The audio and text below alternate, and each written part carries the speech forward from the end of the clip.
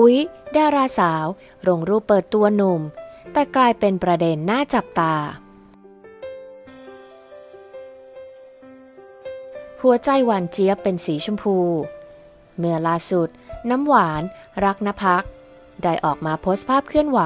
ผ่านอินสตาแกรม เป็นภาพที่กำลังจับมือกับชายหนุ่มปริศนา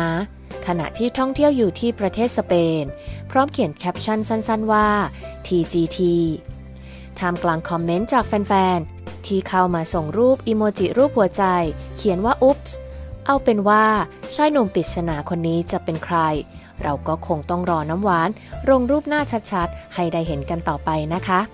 แต่ถ้ามีอะไรคืบหน้าเกี่ยวกับเรื่องนี้ ทางทีมข่าวจะรีบมาอัปเดตให้ทุกคนได้ทราบค่ะ